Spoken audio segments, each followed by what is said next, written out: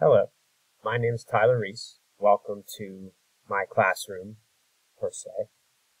Um, this video is uh, a little bit informative uh, in regard to back to school night, which is scheduled for September 29th, uh, aka parent teacher conferences.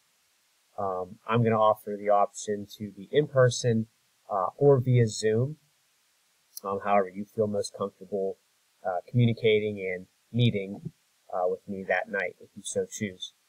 Um, if you choose not to, hopefully this video will suffice as a little bit of background on the class and how it works. So on my screen we see Canvas is up.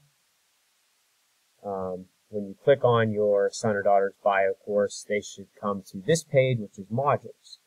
Uh, modules breaks down our week uh, by the date range, the week number, and the units that we are on.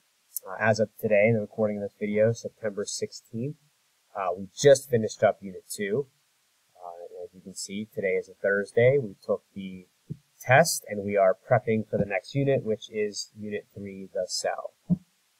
Um, pretty much only use modules and um, if you've been paying attention to your email, I've been sending some weekly progress reports for your son or daughter uh, if they are a bio student.